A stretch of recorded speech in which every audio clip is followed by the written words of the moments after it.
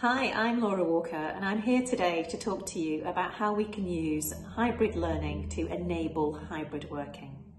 Now, I'm a practitioner, I've worked in six different business industries, usually heading up learning and development and talent management.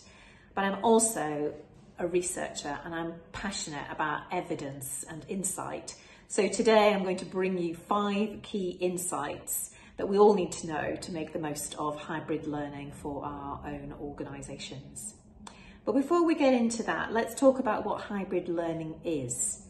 So there's been lots of talk about what hybrid working is, and obviously we're still trying to figure out exactly what that means. But hybrid learning, in a way, is just the other side of the same coin.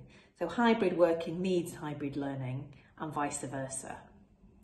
So done well, hybrid learning can be inclusive, it can make learning more accessible, it can make it more productive and impactful, can be more engaging, can also help to build connections beyond those that would otherwise be possible.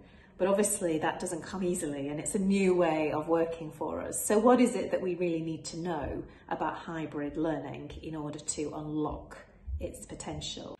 Now there is loads that I could share with you about hybrid learning, but for the purposes of today, I've got five key insights to share with you that we all need to know in our organisations. The first insight relates quite directly to hybrid working.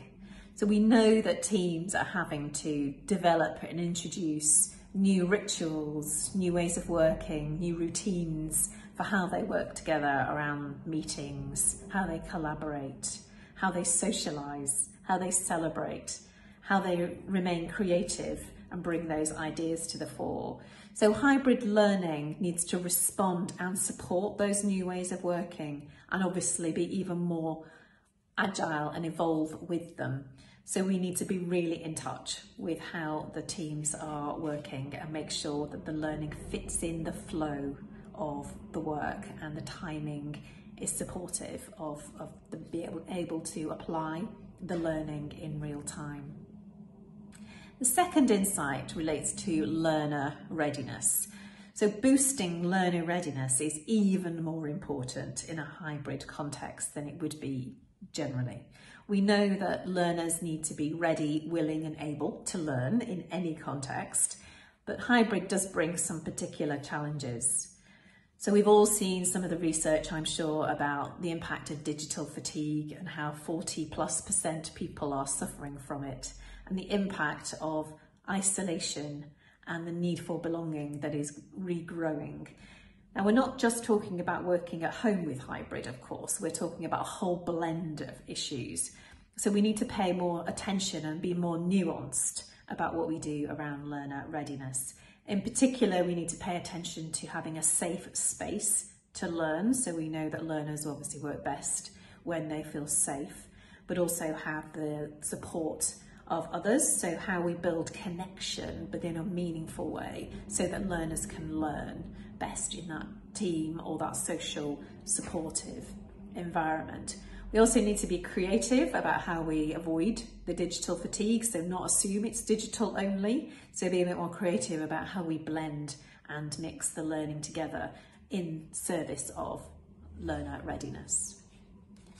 The third insight relates to how we design hybrid learning. Now, hybrid learning is not bolting together face-to-face -face learning and digital learning. Hybrid learning is hybrid by design and it needs to be evidence-based, so what works best, so making the very most of the evidence that we have available to us about what works, what is a great experience, what is efficient and scalable. Um, we need all of that insight and we need to make sure that learning is really exciting and engaging and helps people to embed and have the impact that we need. So hybrid learning needs to be hybrid by design. The fourth insight relates to career development. So I know learning is often quite tactical and quite in the moment around what do we need to learn right now. But in the world of hybrid learning, career development could be your hidden gem. So hybrid itself can be a risk for careers, as we've heard about in some of the research, where some people are being sidelined potentially or believe they are because they are taking a more hybrid approach rather than returning to the office. But also it can open up opportunities. So hybrid learning done well can be much more accessible. It can open up people's networks beyond what they could have imagined before. So if you can pay attention to career development and that longer developmental journey, not just the short-term imperatives, um, then you can really unlock something around the engagement and commitment of the people within your organisation. Because we know that career development, being able to use your skills is the heart of engagement, generally the number one driver of engagement. And the fifth insight relates to how we need role models for hybrid learning. So we know when we're, anytime we're bringing about a cultural shift in an organisation, leaders are key and also the people function are key and L&D people are key. But we also know that it's not what they say, it's what they do. So if you can pay as much attention as possible to equipping role models in your organisation, so leaders who actually embrace hybrid learning as opposed to say that they do.